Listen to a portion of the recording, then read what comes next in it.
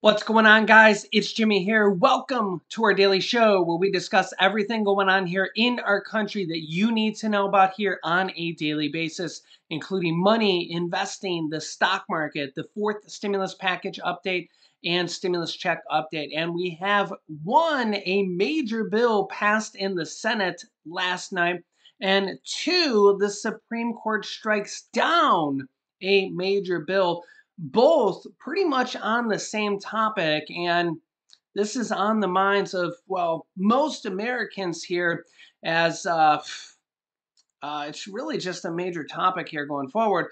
And we have a lot of people on both sides of the fence here. Uh, I'll show you the details here, and you're going to be shocked. Uh, well, you might be shocked on some of the details here on both of these uh, rulings here. One of what passed here in the Senate and the Supreme Court ruling, and then also what the governor of New York, uh, her response. I'll actually let you hear her directly. And uh, a lot of people are really just kind of completely shocked here. Um, you can let me know your thoughts here in the comments. Let's jump right in.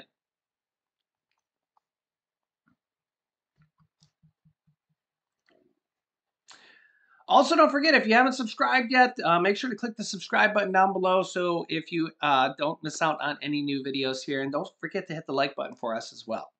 Okay, first up, you can see here the Senate passes a gun major gun safety bill that, that they've been working on here for a while, breaking years-long stalemate after we've had really a lot of massive news here from the Uvalde school shooting, Buffalo one, and we have mass shootings here, over 250 of them just since uh, the first half of this year, just up until June 1st, even. Uh, here's the vote that happened in the Senate late last night. The yeas are 65, the nays are 33. The motion to concur with an amendment is agreed to.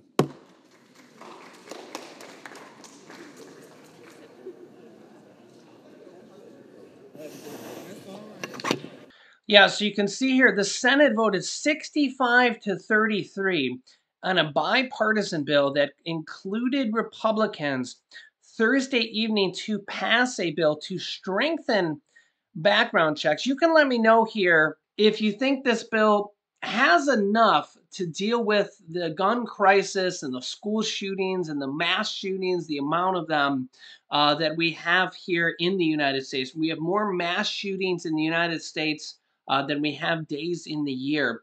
Uh, and remember, a mass shooting is considered uh, four people shot or killed in the shooting, not even including the shooter. So this just doesn't this doesn't account just a single person or two people getting shot or even three people.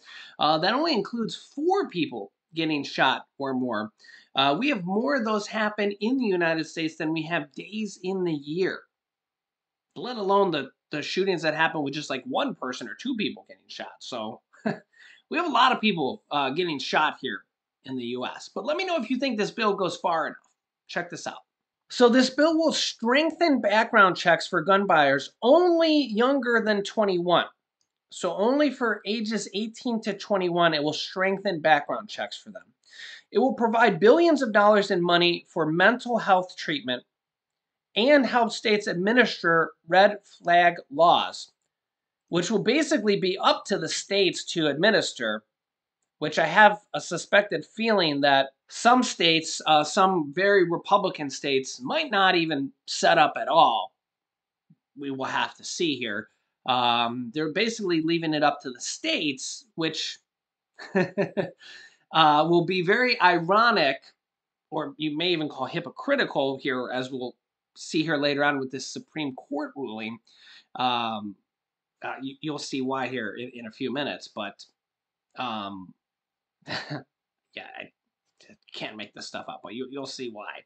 So the um, red flag laws are not like, you know, mandatory. And to take away a gun from a dangerous person um, we'll have to see how the states rule and stuff, but it would have to be a court decision, most likely, um, to then prove that somebody is dangerous. and then to take away a gun from somebody. You, will hear the New York uh, governor here talk uh, in a few minutes as well.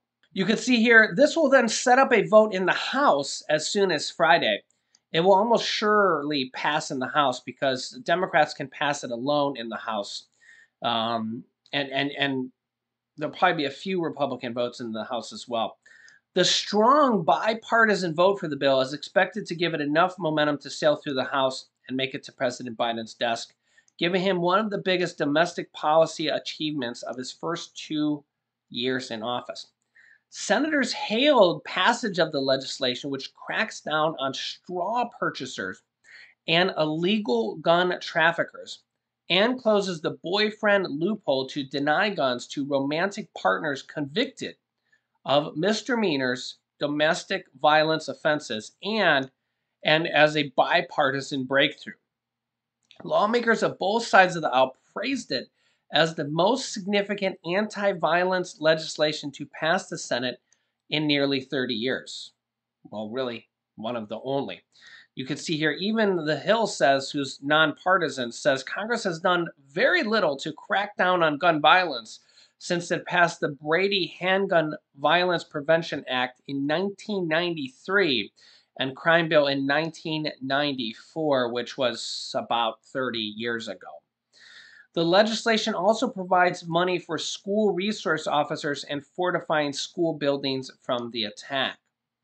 It's a moment of victory and redemption for Senator Chris Murphy from Connecticut and other Democrats who tried and failed to pass legislation to curb violence after a 20 year old gunman killed 20 children and six educators at Sandy Hook Elementary School in 2012 they weren't able to pass anything after that school shooting.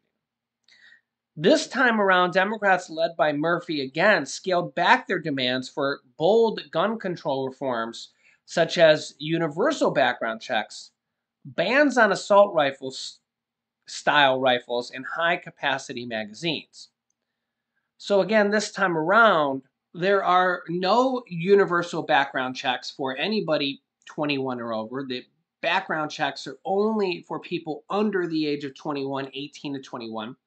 Uh, there's no bans whatsoever at all on um, assault rifle style weapons. And there's also no ban whatsoever on high capacity magazines. Um, a lot of people were calling upon um, saying, what, what is the need for high capacity magazines uh, out in the public? you know, we're not talking about military. I, um, you know, that that have you know rounds of a hundred, uh, you know, rounds, uh, which we've seen in a lot of these shootings. Uh, let me know, in fact, if you're in the military. Um, you know, I, I've had some family in the military. My brother was served in the military. Uh, my grandfather served in the Navy. In fact, he was in Pearl Harbor. He was at Pearl Harbor two days before the attack at Pearl Harbor. Uh, so he left Pearl Harbor, he was stationed there. He left there two days before the attack actual hit. Yeah, I, I know. Things could have been very different if he was there when the actual attack hit, because if he would have went down, my mother would might not have been born, and then I wouldn't be here. So yeah, I have I have multiple family members uh, in you know different uh, branches of the military, but I've had a lot of comments from military members that say, um, and you can let me know your thoughts on this, that assault style rifles, you know, fully automatics, um, should not be in the hands of, uh, you know, regular civilians, that they, you know, they weren't intended for that. And in fact, um, some of the creators of assault uh, rifles, you know, fully automatics basically is what we're talking about here. Um, they've actually said, I'll show you a headline here. In fact, this story is actually from 2016. This was actually before we had um, the really bad, you know, school incidences. Family of AR-15 inventor Eugene Stoner says he didn't intend it for civilians. He intended it for the military, for trained professionals, um, and for it to be used, you know, on the battlefield. The inventor's surviving children and adult grandchildren uh, spoke exclusively to MSNBC, commenting for the first time on their family's uneasy legacy, and said, that it wasn't intended for civilians at all. At all. But yeah, let me know if you're in the military or if you were in the military, what, what your thoughts are on this in the comments. So yeah, they worked with Republicans. This strategy works. It's a good strategy. Work together, Democrats, Republicans. Don't just try to cram something down the other party's throats. 15 Republicans voted yes, including Senate Minority Leader Mitch McConnell voted for the legislation, which Republicans say won't infringe on Second Amendment rights of law-abiding gun owners. Gun owners. If you abide by the law, this will have no problem with any law-abiding gun owners. Um, Mitch McConnell said, quote, the American people want their constitutional rights protected and their kids to be safe in school. They want both of those things at once, and this is just what the bill before the Senate will have accomplished. Quote, this is the sweet spot, making Americans safer, especially for kids in school, without making our country one bit less free. Chuck Schumer says it's a long overdue step in the right direction. It's significant, it's going to save lives, and it's been a long time. At least it's one step in the right direction. The final vote caps weeks of long, intense negotiations with Republicans and Democrats, a turning point for the Senate. However, some Republicans slammed it, like Republican Senator Ted Cruz from Texas, who is a huge, um, uh, how do I say this? Receives huge amounts of funding from the NRA, the National Rifle Association, took to the floor Thursday to voice his opposition. Cruz slammed it for funding red flag laws, which allows courts to seize firearms. Notice it says courts seize firearms from people deemed to be threats to themselves or others. He says, quote, these so-called red flag laws have been implemented in multiple states, and they enable the state to take away the right to keep and bear arms from law-abiding uh, citizens. They render you vulnerable, during which he raised his voice and banged his lectern. Cruz said provisions in the bill satisfy the Democratic pri political priority to go after the Second Amendment right to keep and bear arms of law abiding citizens, repeatedly calling it a Democrat bill, even though it was negotiated by Democrats and Republican colleagues. However, even Mitch McConnell pointed to polling that shows a majority of gun owners supported, the provisions of the bill. Mitch McConnell noted that 79% of gun owners support federal funding for states to implement red flag laws. 86% support prohibiting someone from purchasing or owning firearms who has been convicted of domestic violence against a boyfriend, girlfriend, spouse, or significant other and 87% support making criminal and mental health records of juveniles available to the National Instant Criminal Background Check System. And let's be honest here, if a court rules that somebody's dangerous, they're a threat, they have a criminal record, I mean, we have to have some type of way to say they shouldn't own a gun, right? I mean, if we have no way at all to say this, the only other alternative would be they literally go to a scene with a gun and a police officer has to take them down. And oftentimes that doesn't happen until they're actually shooting. So, I mean, you let me know your thoughts, but if we don't have any way to stop somebody who's deemed, you know, dangerous or, you know, by a court system, what's the alternative? We have to have some type of way, right? If we don't have that, then there's literally no other way to stop somebody before a shooting occurs. You let me know your thoughts in the comments. So meanwhile, this is one step in the right direction. You've seen the polling numbers. Those were literally by Mitch McConnell, the Republican leader, pointed those out. Um, we also had a major gun law struck down yesterday by the Supreme Court. Yeah, so New York State had passed a gun law in their state just recently here I covered it on my channel maybe a week or two ago. Well, the Supreme Court actually just struck it down yesterday and overruled the state. Now, this is going to get very interesting, ironic, and maybe even hypocritical here. And you'll see why here in a second. So, first, here's some details on what happened. Check this out. This is a very significant announcement today. Yes, and uh, certainly what we expected, Jose, based on how the case was argued, uh, how the how it went when the case was argued last fall. And of course, one of the things here is uh, what kind of restrictions can states still place on getting a concealed carry permit? Now, you can get a concealed carry permit in every state in the country.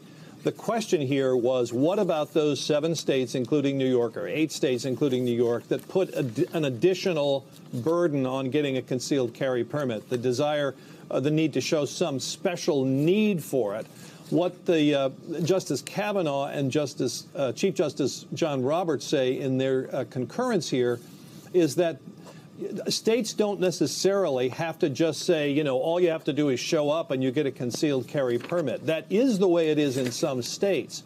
But the court says here that states can still place some conditions on getting a concealed carry permit. They can require applicants to undergo a fingerprint check, a mental health check, a criminal records check, uh, and and show that they can uh, are proficient in handling firearms. So this is not uh, this. The court here is not endorsing simply uh, you ask and you get policy for concealed carry permits.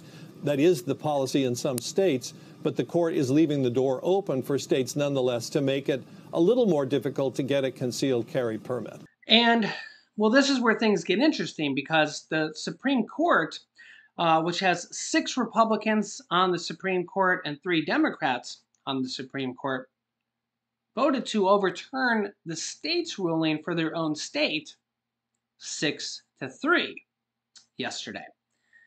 And well, yeah, there's there's a lot of lot of controversy over this because well, this the, the Supreme Court is expected to rule here potentially within the next week or so on Roe versus Wade.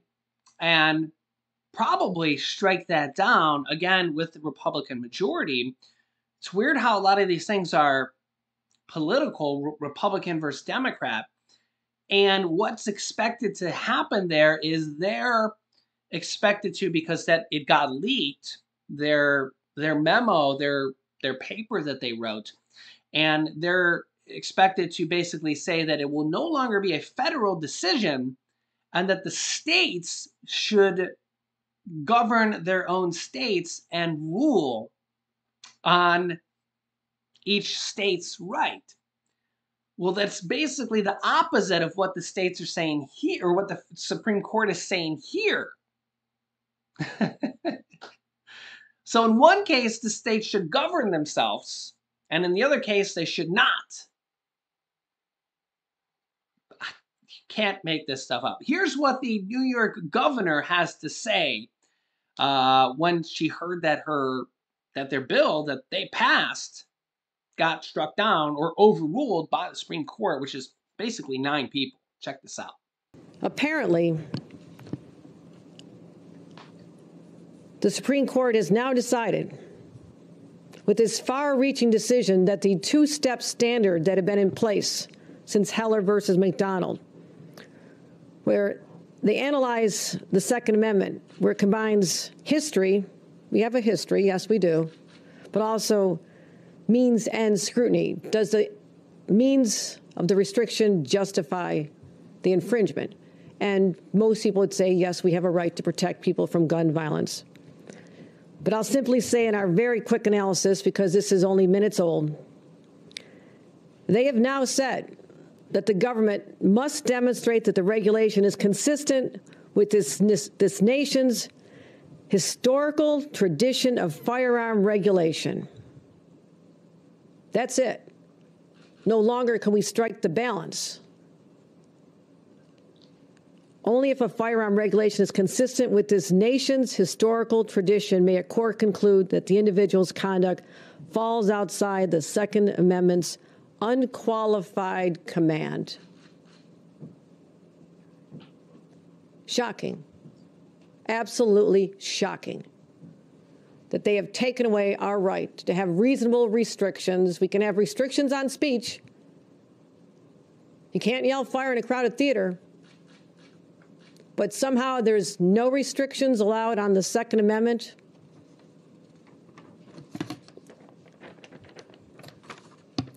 This is New York. We don't back down, we fight back. And we'll be alerting the public, the media, in the very short term exactly what our language that we've been analyzing, we have language we'd like to now enact into law. We'll be sharing that with the leaders. And I'm sorry this dark day has come. That we're supposed to go back to what was in place since 1788 when the Constitution of the United States of America was ratified. And I would like to point out to the Supreme Court justices that the only weapons at the time were muskets. I'm prepared to go back to muskets. I don't think they envision the high capacity assault weapon magazines intended for battlefields as being covered from this, but I guess we're just going to have to disagree. So I'll return to our purpose of being here and let people know that our new laws are going to be looking at restrictions on sensitive locations, changing the permitting process, creating a threshold for those. We're going to have training requirements. We're going to make sure that people have concealed weapons as specified training. We have a whole lot of ideas. And also look at a system where businesses and private property owners would have the right to protect themselves. So stay tuned.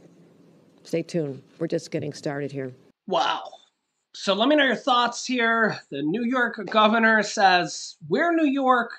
We don't back down. We're going to fight back.